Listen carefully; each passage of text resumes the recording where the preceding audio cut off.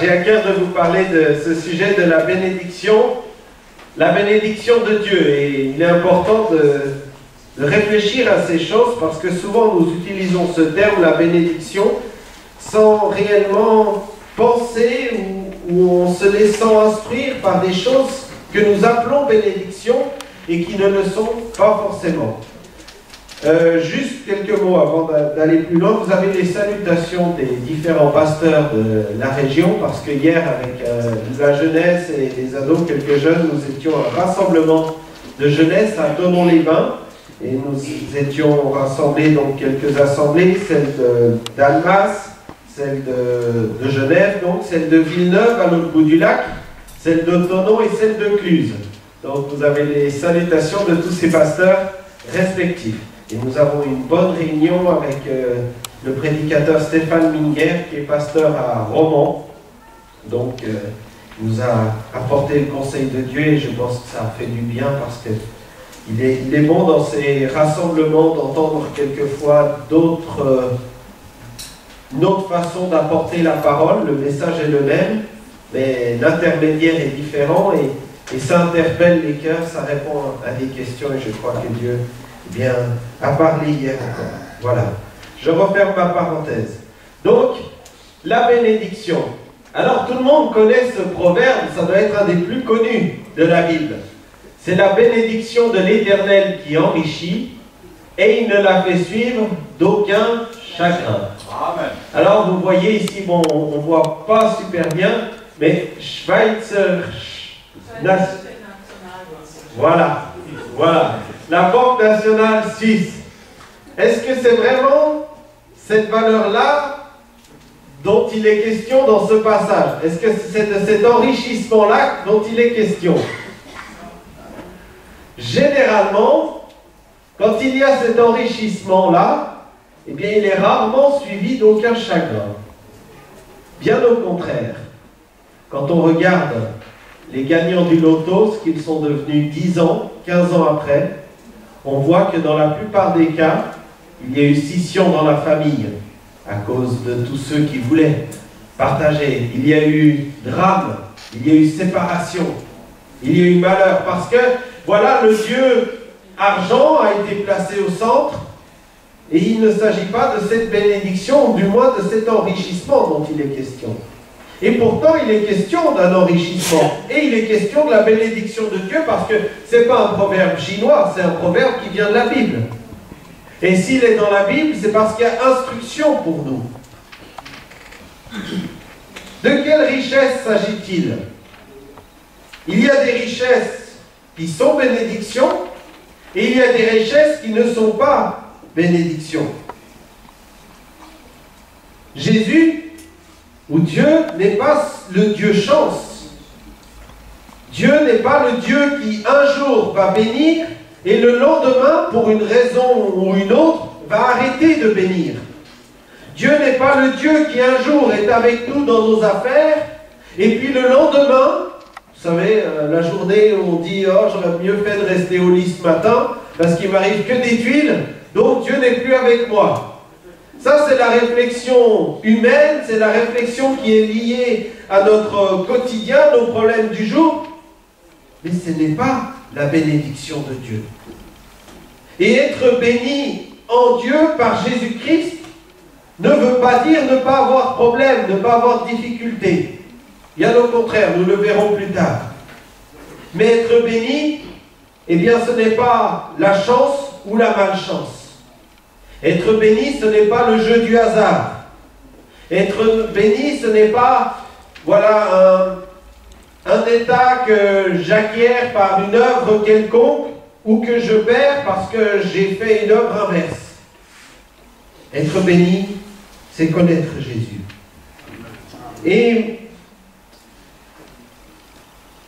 L'auteur de l'Épître aux Hébreux va nous dire, ne vous livrez pas à l'amour de l'argent, contentez-vous de ce que vous avez, car Dieu lui-même a dit, je ne te délaisserai point, je ne t'abandonnerai point. C'est la réalité.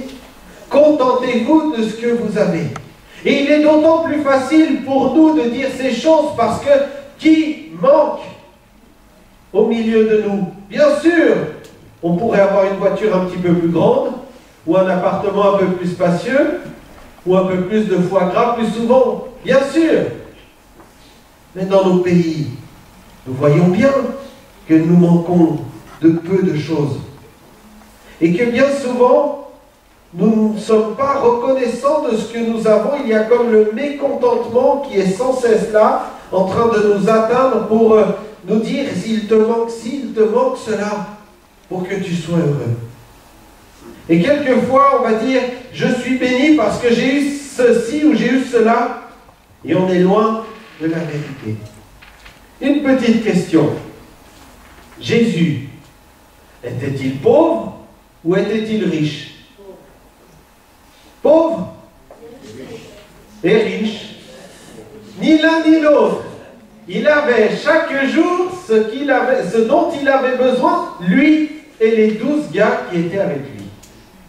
Ils n'ont manqué de rien, mais ils n'ont pas été dans une abondance matérielle. Et pourtant, s'il y a un exemple d'homme béni sur la terre, c'est bien Jésus, le Fils de l'homme, le Fils de Dieu, l'envoyé. Et si pour, pour nous la bénédiction était quelconque richesse, Jésus, le roi des rois, aurait été le plus riche. Or, quand il a fallu payer à un moment donné l'impôt, eh bien, il va dire à Pierre, écoute Pierre, va à la pêche, et dans la bouche du poisson, il y aura la pièce nécessaire pour payer l'impôt. S'il avait eu la Visa Gold pleine, il aurait dit, écoute, prends ma carte bleue, va régler ça, ça va vite être, euh, euh, euh, fait comme ça, il n'y a pas de problème. Non, non, il a fallu qu'il envoie Pierre. Il a fallu que Dieu pourvoie de cette manière. Lorsqu'un homme va vouloir suivre Jésus, Jésus va lui dire, mais les renards ont des tanières, les oiseaux du ciel ont des nids, mais le Fils de l'homme n'a pas un lieu où, il puisse reposer sa tête. Jésus n'avait pas un lieu où il puisse reposer sa tête. Il n'a cessé dans son temps sur la terre d'aller de lieu en lieu prêcher la bonne nouvelle. Il n'a cessé d'aller au contact de l'indigent, d'aller au contact du pauvre, du boiteux, du lépreux, et du riche, et de l'instruit, sans oublier ni l'un ni l'autre. Il n'a cessé sans cesse à la fois de nourrir la foule, mais pas avec ce qu'il avait amené, pas avec sa richesse personnelle, avec ce qu'il va produire de ce qu'un petit garçon va amener. Cinq pains et deux poissons. Sur toute cette foule, il n'y a que ce petit garçon qui avait amené ça, ou il n'y a que ce petit garçon qui va être d'accord de partager son casse-croûte et de voir le miracle de Dieu. Il y avait peu de choses, mais dans les mains de Dieu, eh bien, ça a été multiplié. Jésus a fait le miracle. Je ne te délaisserai point, je ne t'abandonnerai point. Au fond, n'est-ce pas vraiment ça la bénédiction de Dieu? Le connaître lui, connaître son Fils, connaître son salut? Et Paul et Pierre, étaient-ils des hommes riches, possédant de riches propriétés, étant installés dans un confort terrestre? On se souvient de cette histoire de l'Ancien Testament où Dieu avait dit au peuple d'Israël, vous allez conquérir en entrant dans Canaan, vous allez tout détruire, vous allez tout passer par interdit, c'est-à-dire détruire tout ce qui appartient aux populations eh euh, qui n'étaient pas celles d'Israël. Et dans cette conquête, eh ils arrivent dans cette ville et là, il y a un homme qui s'appelle Akan qui voit un beau manteau un vison ou euh, je ne sais quelle autre fourrure, un beau manteau. Et il se dit, bien sûr, ça a été livré par interdit, mais personne ne verra. Dieu me bénit. Voilà, j'avais besoin d'un manteau pour cet hiver. Je vais vite le prendre. Et puis en cachette, je vais le mettre dans ma tente. Et puis ni vu ni connu. C'est Dieu qui me bénit. Je suis tombé sur ce manteau dont j'avais besoin. Et c'est Dieu qui me bénit. La réflexion de cet homme, alors qu'il a laissé libre cours à sa convoitise, à son désir. Et cela va provoquer tout le peuple d'Israël dans la malédiction. Dieu va se retirer d'eux. Et ils vont commencer de perdre, d'avoir problème sur problème. Jusqu'à ce que dans la prière, Dieu place Akan en disant c'est lui qui a fait le mal, c'est lui qui a porté ce malheur sur Israël. C'est lui qui a introduit au milieu du peuple de Dieu quelque chose d'étranger qui était voué à interdit. C'est lui qui a laissé la convoitise du monde, la convoitise des yeux entrer dans le peuple de Dieu. C'est lui. Et il a été mis à mort, lui et toute sa famille. Parce que quand on est venu dans sa tente, on a trouvé le manteau. Dieu avait dit c'est là. Et à cause d'un manteau, il a perdu l'élection pour lui et il a amené la malédiction autour de lui. Un manteau. C'était beaucoup et c'était peu par rapport aux conséquences. Et quelquefois, on peut vouloir eh saisir une bénédiction, penser que c'est la bénédiction de Dieu, et se tromper, s'éloigner de, la véritable bénédiction qui est de connaître Dieu et de faire son œuvre. Le succès peut avoir une forme de bénédiction. Il y a quelque temps, là, cet été, c'était le 12 août, j'écoutais France Info, puis j'ai entendu parler de Tony Scott. C'est le réalisateur de Top Gun. Et c'est le frère de Ridley Scott, le réalisateur d'Alien, pour les cinéphiles. Un homme qui a eu un succès un succès phénoménal. Top Gun, c'est un des meilleurs films des années 80, 80, oui, ça doit être par là, 88, je pense. Un, succès mondial qui a révélé aussi Tom Cruise, qui a, voilà, vraiment une réussite. Et cet homme, il n'est pas mort de vieillesse, il s'est suicidé. Il, s'est mis à mort. Lui qui était riche, lui qui avait du succès, lui qui avait tout ce qu'il voulait, il vivait à Hollywood, il était là dans les belles propriétés, il a mis un terme à sa vie. On peut se dire, mais c'est troublant quand même. On pourrait dire à vue humaine que cet homme, il est béni, regarde, Dieu est dans ses affaires, il réussit, il a du succès. Et puis son frère aussi. Son frère, il continue à faire des films, mais quel succès. Mais ce n'est pas la bénédiction. Si ça avait été la bénédiction de Dieu, elle n'aurait été suivie d'aucun chagrin. Alléluia. Mais quand la bénédiction qu'on peut appeler bénédiction est suivie de chagrin, mais ça n'est pas la bénédiction de Dieu. Je vais prendre quelques exemples qui, quelquefois, dans nos, prières, trahissent un petit peu cette confusion. Alors, c'est nullement une accusation, mais c'est pour nous faire réfléchir à, quelquefois ce que nous prononçons dans, dans nos prières. Dieu m'a béni, j'ai réussi mes examens. Alors, c'est pas faux, bien sûr, Dieu m'a béni. Mais tout dépend comment on considère les choses. Si les examens sont là pour valider des acquis euh, euh, de l'instruction acquise, alors, il est logique que si j'ai travaillé régulièrement durant mon, année scolaire ou durant ma formation professionnelle, eh bien, j'ai acquis ces choses. Et donc, si j'ai acquis ces choses, l'examen ne fait que confirmer ce que j'ai acquis. Évidemment, si je vais à l'examen sans savoir, en disant à Dieu, Seigneur, aide-moi vite, donne-moi la chance de pouvoir tomber sur le bon inspecteur ou, ce que je sais de mieux, je fais ma confiance dans le Dieu chance. Et ça n'est pas la bénédiction de Dieu, parce que combien même je réussirai l'examen, l'acquis n'est pas acquis. Ce que j'aurais dû apprendre, je ne le sais pas. J'ai réussi l'examen par coup de chance, et ça arrive, et je n'ai pas, je suis passé à côté de l'instruction. Est-ce vraiment la bénédiction? La prière juste, c'est de dire Seigneur, donne-moi de l'intelligence, de la sagesse, tout le long de ma vie, tout le long de ma formation à l'école, pour que je puisse recevoir toutes choses. Et quand l'examen viendra, mais j'irai avec paix parce que j'aurai donné le maximum, j'aurai appris le maximum et ça validera cette bénédiction que tu m'as donnée de savoir et de connaître. Parce que la bénédiction n'est pas de réussir l'examen ou de le louper, la bénédiction est d'arriver à euh, euh, ingérer tout ce qu'on nous enseigne et ce qu'on nous instruit. Une autre prière. Ah, nous avons été bénis par le beau temps. Je l'ai dit, vous l'avez dit. Bon, si on réfléchit bien, est-ce que cela veut dire donc que les Marseillais sont plus bénis que les Normands? Et pourtant, il pleut beaucoup plus en Normandie qu'à Marseille.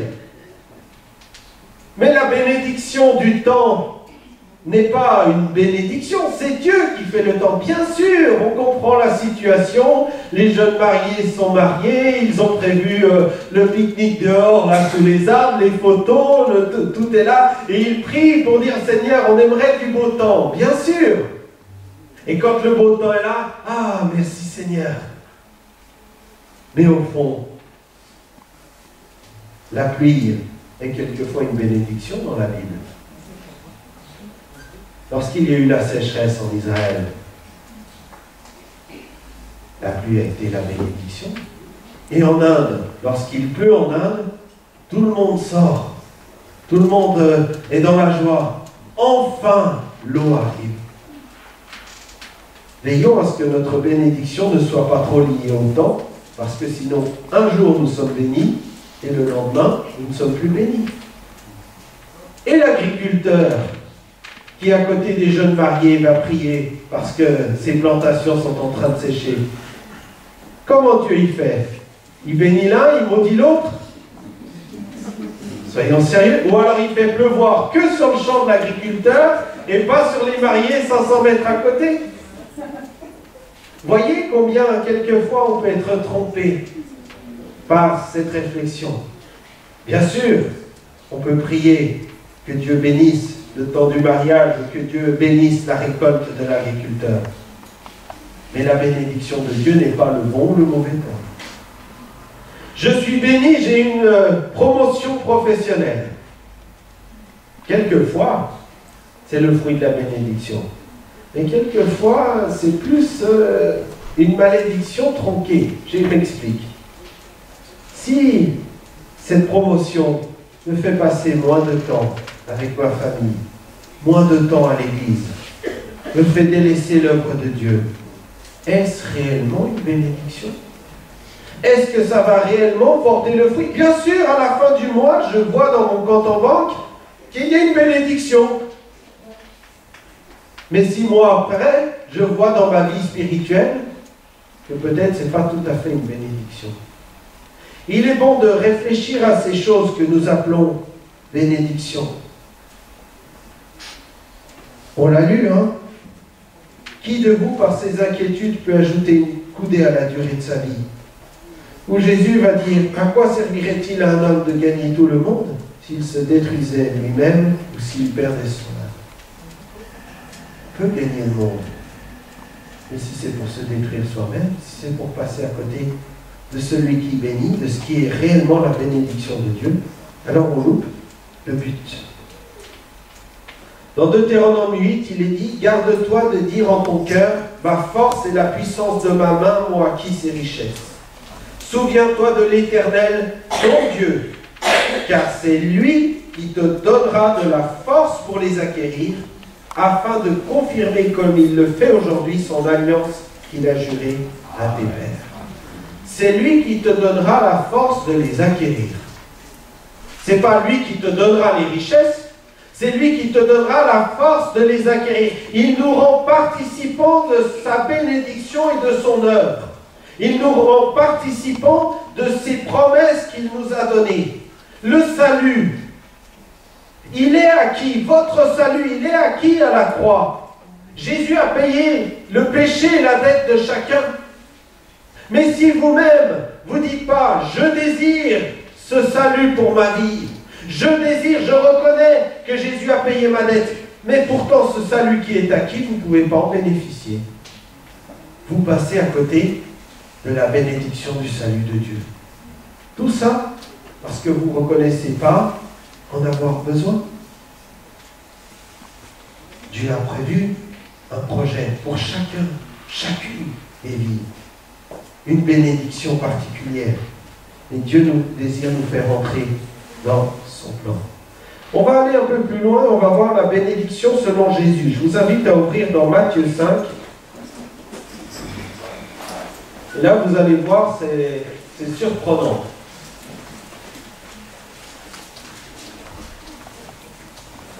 Matthieu 5.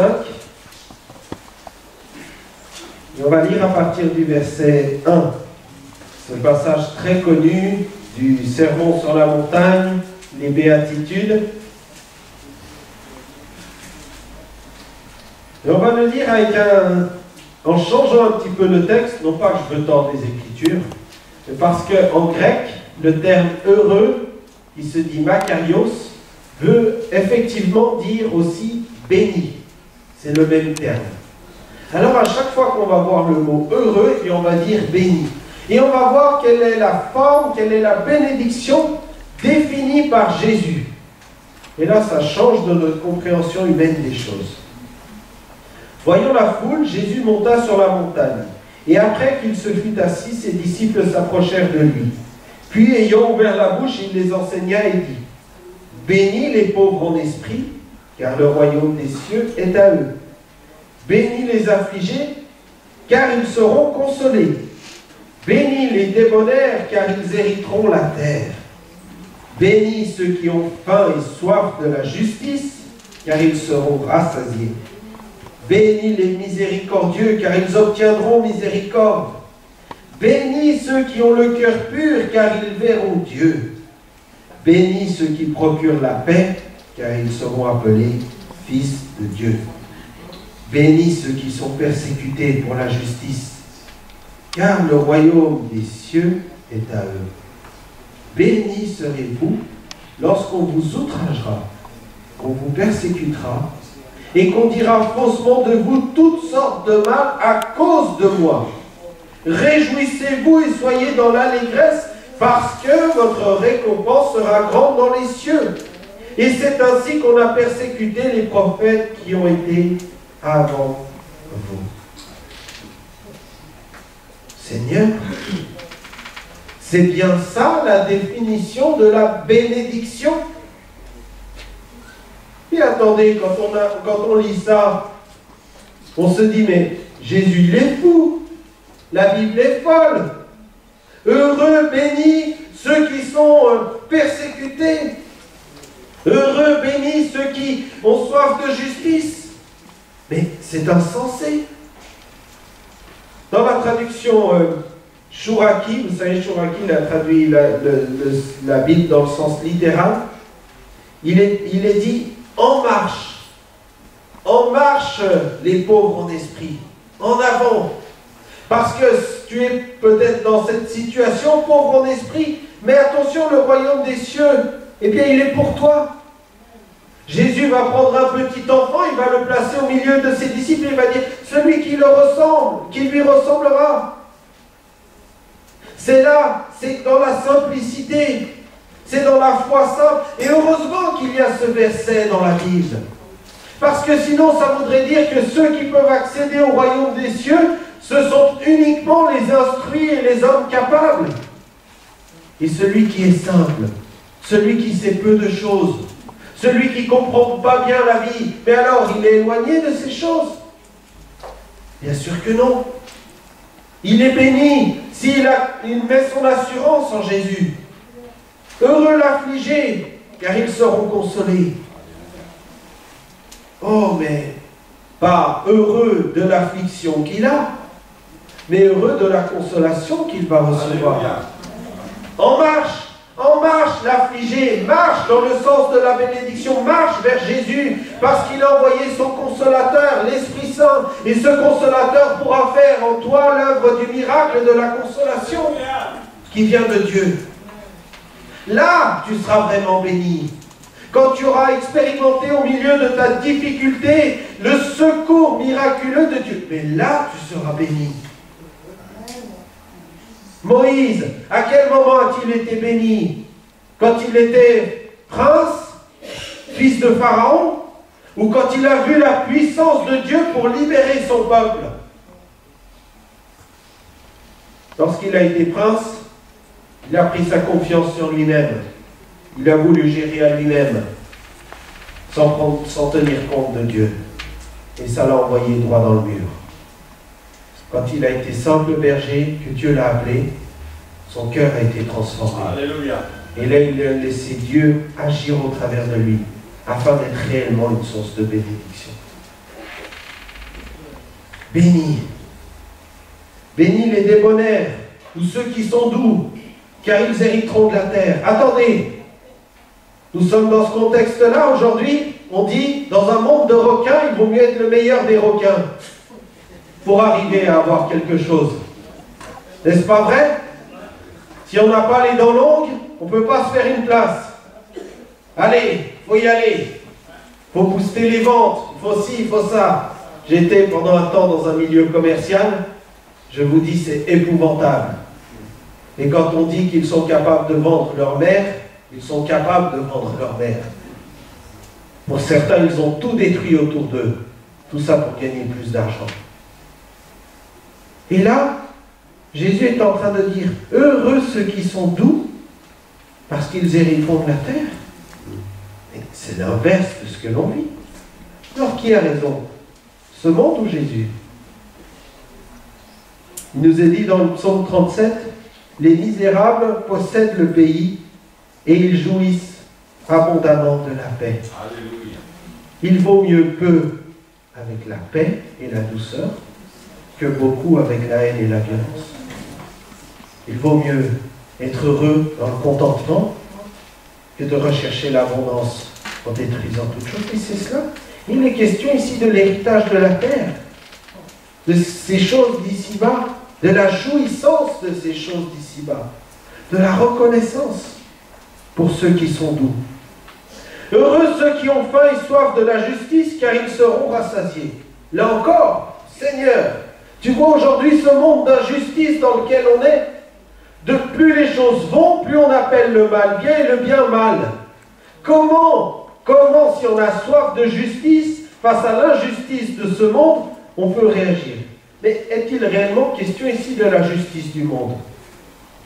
De quelle justice il est question? Si on comprend la justice du monde, on est forcément déçu, on dit Jésus se trompe. Mais si on comprend la justice dans le sens biblique, Jésus, le juste juge qui nous justifie, Jésus qui s'est fait justice pour nous en livrant sa vie, Jésus qui a accepté ses clous dans ses mains pour te sauver, pour me sauver à cause de mon péché. Jésus a accepté ce jugement, cette injustice à son égard afin de nous rendre justice à nous. Et heureux celui qui a soif et faim de la justice de Jésus, parce qu'il deviendra juste et parce qu'il va entraîner autour de lui cette justice, c'est-à-dire le salut de Jésus pour ceux qui sont avec lui. C'est cela la véritable justice à chercher. Oh, cherchez pas parmi les hommes. Ne nous laissons pas tromper. Heureux les miséricordieux, car ils obtiendront miséricorde. J'ai compris que Jésus m'avait pardonné. Je pardonne à mon tour. Et ça me libère personnellement d'un poids, ça libère mon frère, ma soeur d'un poids, et ça glorifie Jésus. Mais c'est extraordinaire. C'est la formule magique, si j'ose utiliser le terme, pour régler tous les problèmes. Le pardon, la miséricorde. Mais n'est-ce pas ainsi que Dieu fait à notre égard? Seigneur, sois miséricordieux envers moi. Je suis un homme pécheur.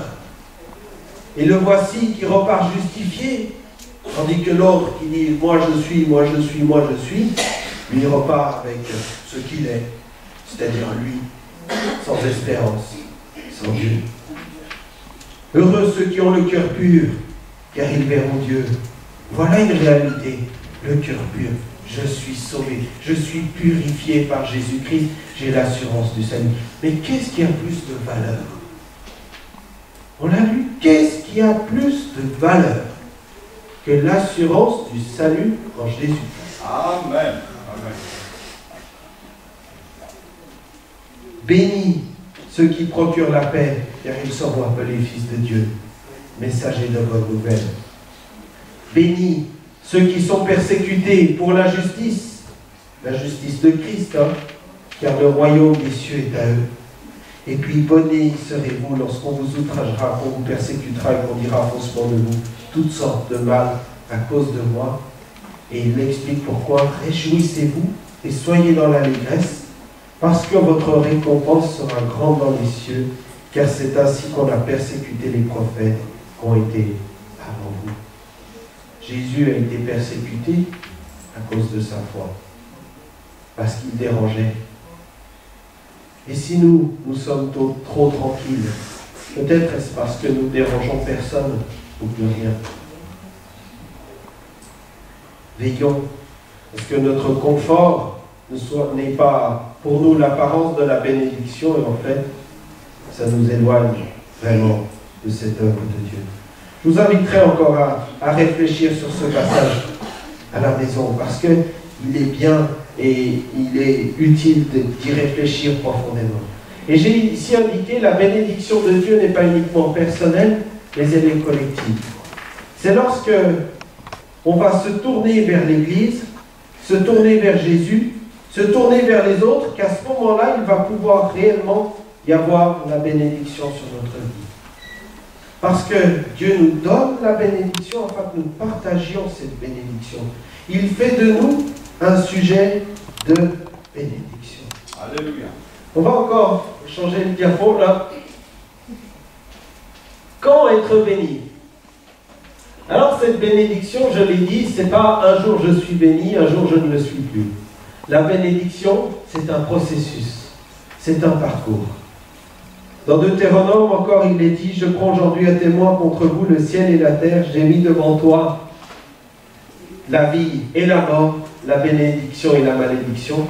Choisis la vie afin que tu vives, toi et ta postérité. Choisis la vie. Entre dans ce processus de vie. Entre dans ce processus de bénédiction. Et si tu es sous la bénédiction de Dieu, ne te laisse pas tromper dans ta foi parce qu'un jour ça ne va pas comme tu as prévu que ça aille. Ne te laisse pas détruire dans, ton espérance parce qu'un jour, eh tu es frappé par la maladie. Ou tu es frappé par la difficulté financière, ou tu es frappé dans ton milieu professionnel, en disant qu'est-ce qui m'arrive, je ne sais plus où je vais, Dieu n'est plus avec moi. Mais en quoi Dieu est avec toi ou n'est plus avec toi si tu as telle ou telle difficulté? Est-ce que tu ne lis pas ça dans la Bible? D'hommes, de femmes de foi qui ont été dans la difficulté aussi. Et ils, ne sont pas passés loin la bénédiction de Dieu, ils étaient parfaitement dedans.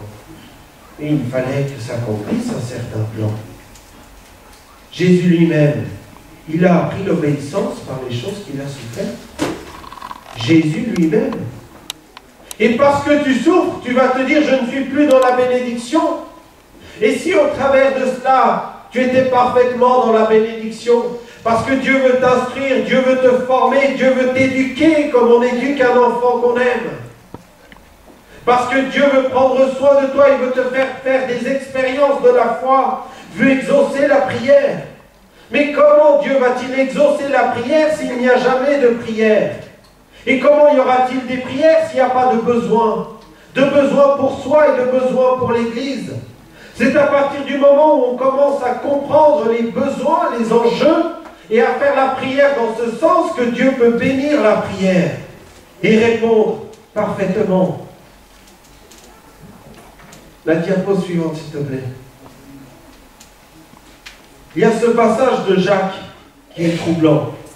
D'où viennent les luttes et d'où viennent les querelles parmi vous? N'est-ce pas de vos passions qui combattent dans vos membres? Vous convoitez, vous ne possédez pas. Vous êtes meurtriers et envieux et vous ne pouvez pas obtenir. Vous avez des querelles et des luttes et vous ne possédez pas parce que vous ne demandez pas. Vous demandez et vous ne recevez pas parce que vous demandez mal dans le but de satisfaire vos passions. Adultère que vous êtes, ne savez-vous pas que l'amour du monde est inimitié contre Dieu? Celui donc qui veut être ami du monde se rend ennemi de Dieu. Jacques n'écrit pas à des inconvertis. Jacques, il écrit à l'église de Jésus-Christ. Jacques, il est en train de les bousculer dans leur conscience. Et peut-être, si vous êtes dans cette situation, je souhaite que l'Esprit vous bouscule dans votre conscience. Vous demandez, vous ne recevez pas parce que vous demandez mal dans le but de satisfaire vos passions, vos désirs, vos convoitises, toutes ces notions de la chair. Paul écrira la convoitise des yeux, la convoitise du monde et l'orgueil de la vie. Ces choses qui motivent et qui nous éloignent de la présence de Jésus. Mais comment, Seigneur, tu as dit que ce qu'on demanderait en ton nom, tu nous le donnerais? Mais en ton nom, ça veut dire selon ta volonté, selon ton plan. C'est pas uniquement en prenant le nom de Jésus comme un prête-nom, comme un étendard pour saupoudrer la prière de la bénédiction du nom de Jésus, que ça va fonctionner.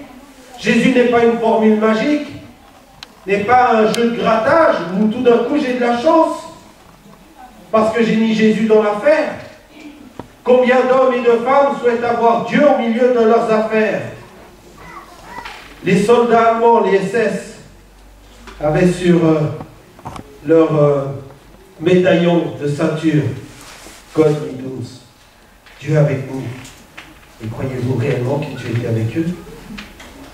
Or, la bénédiction, ce n'est pas d'avoir Dieu avec nous, c'est nous d'être avec Dieu. C'est nous d'être en Dieu, c'est nous d'être dans sa volonté, dans son plan. Parce que si nous sommes dans l'œuvre de Dieu, alors forcément il est avec nous. Il nous accompagne. Il fait son œuvre. Il fait ses miracles. Nous en avons besoin de ces miracles. Vous demandez et vous ne recevez pas parce que vous demandez mal dans le but de satisfaire vos passions. Et c'est terrible. C'est terrible de prendre le nom de Jésus, de prendre la prière qui est une puissance véritable, une action miraculeuse de Dieu et de l'utiliser à nos fins personnelles, à nos désirs personnels. Mais combien on peut se tromper en faisant ainsi? Combien on peut passer loin de cette bénédiction que Jésus avait promise? Seigneur, garde-nous d'appeler bénédiction ce qui n'est pas et malédiction, qui ne l'est pas non plus. Il faut quelquefois réfléchir, prendre du temps et dire qu'est-ce qui est dans ma vie est réellement une bénédiction. Je viens de passer 30 ans. 30 ans, c'est un cap. Vous me direz, je suis tout jeune. C'est vrai, je suis tout jeune. Mais à 30 ans, on commence déjà à réfléchir.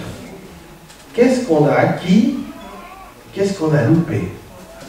Qu'est-ce qu'on peut faire pour que les 20 prochaines années soient vraiment fructueuses Ou qu'est-ce qu'on peut louper pour les 20 prochaines années? Commence à tirer des conclusions? On se rend compte qu'on est vraiment pas éternel, on a déjà 30 ans. 15 ans c'était avant-hier, 30 ans c'est là, et puis 40 ans, ben, ça sera dans demain ou peut-être même avant. Et 50 ans, et 60, et puis après, on a l'impression que la vie s'arrête. Alors c'est pas vrai, bien sûr. Mais il est bon de s'arrêter de dire qu'est-ce que j'ai fait de ma vie? Qu'est-ce que j'ai fait de ces 30 années qui ne m'appartiennent pas mais que Dieu m'a confié Qu'est-ce que j'ai fait de ce temps? D'être certains réussite, moi je rends grâce à Dieu. J'ai une épouse, deux enfants, mais ce n'est pas la plus belle réussite de ma vie. La plus belle réussite de ma vie, c'est qu'aujourd'hui j'aime Jésus. Et que je l'aime plus qu'hier, et j'espère moins que demain. La réussite de ma vie, c'est qu'aujourd'hui, je veux marcher. J'ai cette espérance qu'il reviendra bientôt. Je n'ai pas tout réussi. Je n'ai pas tout loupé. Et j'ai cette espérance en Jésus. je sais qu'il est vivant. Et je sais qu'il va me bénir. Pour conclure, on va prendre cette dernière diapo. Ces gens qui le disent, jusqu'à présent, vous n'avez rien demandé en mon nom. Demandez et vous recevrez, afin que votre joie, votre bénédiction soit parfaite. En marche, avance, demande à Jésus. Ne demande pas n'importe quoi sous n'importe quelle raison. Réfléchis bien. Réfléchis bien dans quel sens tu vas orienter ta vie. Réfléchis bien quelles sont tes priorités. Réfléchis bien quels sont tes choix. Réfléchis bien ce que tu veux faire. Parce que de ces choix, de cette prière, bien va dépendre ton avenir. Va dépendre le chemin de la vie ou le chemin de la mort. Va dépendre la malédiction ou la bénédiction. Aujourd'hui, peux choisir parce qu'aujourd'hui c'est un jour nouveau. Peut-être jusqu'alors tu as fait que des choix maladroits. Tu t'es trompé assis, tu t'es trompé par là, et tu payes les conséquences. Et aujourd'hui, si tu choisis Jésus, si tu choisis la vie, si tu entres dans ce processus de la bénédiction, alors tu auras son secours. Tous les jours ne seront pas des jours faciles. Hein. Heureux serez-vous lorsqu'on vous outragera. Et oui, ça peut arriver. Heureux serez-vous lorsque vous serez persécutés. Ça peut arriver, c'est dans la bouche de Jésus. On ne peut pas arracher ça de la Bible. C'est pas possible. On voudrait bien, je voudrais bien que vous n'ayez aucun problème, aucun souci, aucune difficulté. Mais ça ne serait pas l'évangile. Ça ne serait pas ce que Jésus veut vous faire vivre. Ça ne serait pas l'œuvre de Dieu. Ça serait l'évangile de prospérité. Tu seras plus riche, tu auras de nombreux enfants, tu prospéreras. Et où est la réalité par rapport à ce que Jésus a dit? Or, c'est Jésus qui a raison. Mais au milieu de cette adversité, Jésus ne t'abandonnera pas. Il sera là. Et en son nom, selon sa volonté, il accomplira son œuvre parfaite. Prions. Seigneur Jésus, je veux te demander maintenant par ton esprit de toucher les cœurs, de toucher les vies. Seigneur, combien de fois dans ma propre vie j'ai appelé bénédiction ce qui ne l'était pas et je suis passé à côté de la vraie bénédiction. Je veux te demander, Seigneur, d'intervenir, de permettre que chacun réalise les choix qu'il a faits et puisse faire aujourd'hui le bon choix avec toi, d'entrer dans cette bénédiction divine. Seigneur, ceux que tu as bénis, continue de les bénir. Ceux qui sont peut-être dans un chemin qui les égare de toi, rappelle-les, conduis-les tout à nouveau par ta houlette et ton bâton, parce que toi tu es le bon berger et tu n'abandonnes aucune de tes brebis. Merci Jésus parce que tu es celui qui parle, qui instruit, afin que nous soyons conscients de la réalité des choses. C'est vrai, Seigneur, je suis moi-même dans une abondance physique, matérielle, mais Seigneur, que ces choses ne m'éloignent pas de toi.